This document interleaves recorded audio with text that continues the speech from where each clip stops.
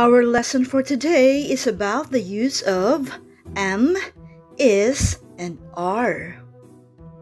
Am is a verb that is used with the word I. Just like I am happy.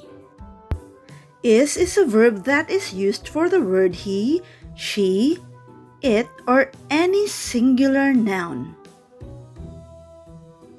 Just like he is a good person or she is very kind. Are is a verb that is used with the word we, they, and you, or any plural noun.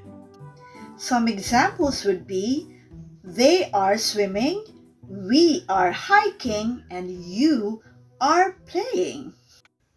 Now, let's try to do some drills.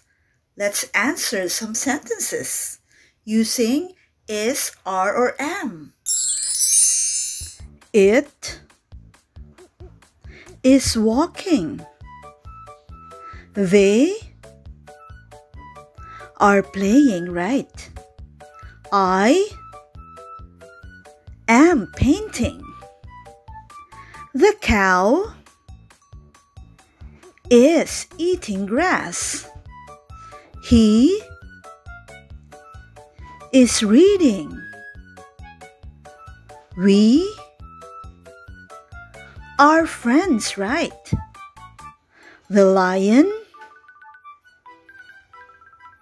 is the king of the jungle.